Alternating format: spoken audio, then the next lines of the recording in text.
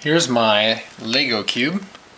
All it is is a Rubik's Cube with uh, Lego 2x2 tiles super glued on.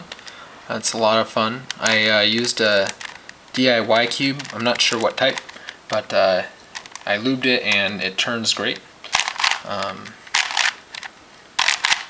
one thing I didn't notice, didn't even think about uh, when making a Lego cube is you can see if you're holding the cube like this you can actually see that these are white pieces over here uh, because the the Lego piece sticks out a little bit. Um, something I didn't think about. Anyway it's a great cube. It uh, turns well. Um,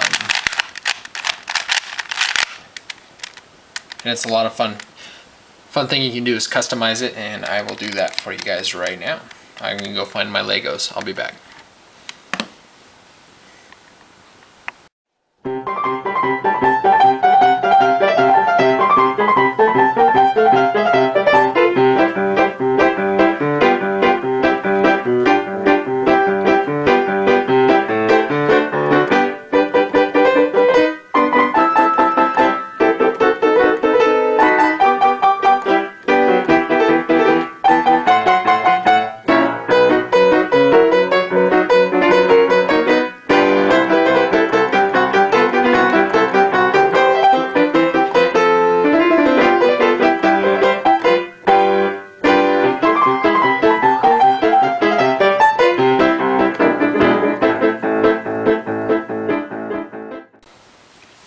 Here you can see I'm done customizing it.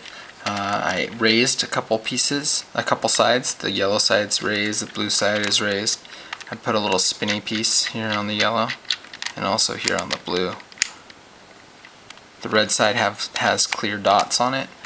Orange side has the little grills and the grills are cool because it makes it a little more challenging. You have to be sure the centerpiece uh, is in line because it could be twisted 90 degrees.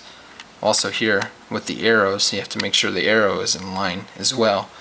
It would be cool if you had a lot of arrows, then you could make a shepherd's cube, which would be fun. That's when there's arrows on every side. Anyway, it's uh, a lot of fun to customize. I recommend building one of these. Uh, it's very simple. You just get the Legos and you glue them onto the cube. Um, super glue. Very easy. Uh, and it's a lot of fun. So go ahead and give it a try. Thanks for watching.